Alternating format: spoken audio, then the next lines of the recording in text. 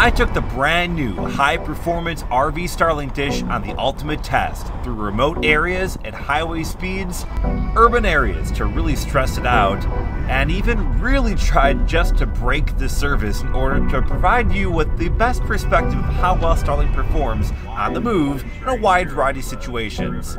A large fry and a large Coke? Yeah, I got pretty creative at times, really to stress this service out, and overall, I have to say I'm more than impressed with the performance that comes in at a hefty price tag. This setup, the high performance dish mounted on the roof of my car using four 100 pound magnets. You can learn more about how I set everything up in a previous video. We are using a laptop inside of the car set with a macro to constantly take speed tests as we drive. All results on Wi-Fi since the newer version of the router does not come with a built-in ethernet port for some incredibly idiotic reason. This is inside of a city. See trees and power lines and stuff. Not bad. Not bad at all. Here are some of the highlights, with three cameras synced up to try and give you a good picture of what the surroundings look like during each test. Inside of an urban neighborhood, results were downright impressive frequently hitting near 100 megabits per second download and latencies almost under 50 milliseconds when connecting to a Chicago-based server from Cedar Rapids, Iowa. It's worth noting that this is the winter time, and without a lot of leaves on the trees, I suspect this would have a larger impact on speeds and latency, but time will tell on that front. Over about 90 minutes, I conducted 70 different speed tests while driving in a wide variety of situations, from urban neighborhoods, that's to be expected, to a downtown with many high-rise buildings.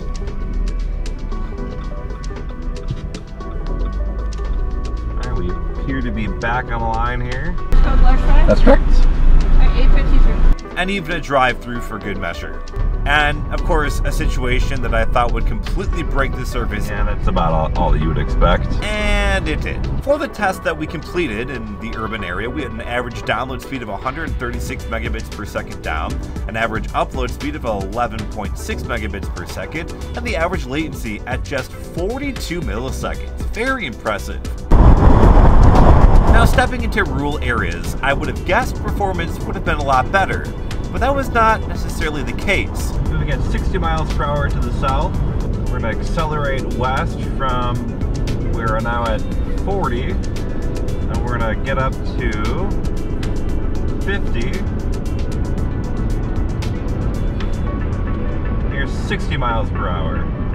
For the test I completed, we have an average download of 102 megabits per second, an average upload of about 11.6 megabits per second, and an average latency down to 37 milliseconds. Upload speeds, on average, dropped by about 30 megabits per second. Upload speed actually the exact same as the urban average. Latencies did improve by about 5 milliseconds, and this makes a lot of sense given the less obstructions in the area. Now, to be clear, this remains great service for almost every task you would normally do on the road. Gaming would be a bit difficult with more chaotic latencies, but I can't imagine a lot of people trying to get a Warzone dub in a car.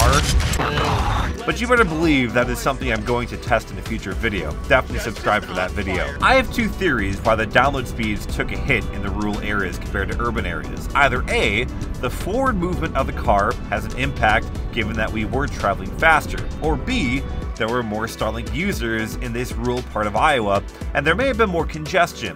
I think the former is more likely the scenario, but it's hard to rule out either option, really.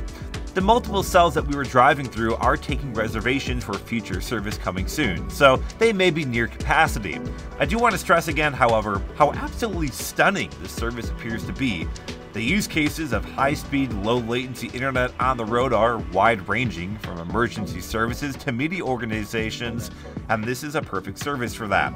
There will be obvious issues with weather, such as heavy rain or maybe even baseball-sized hail.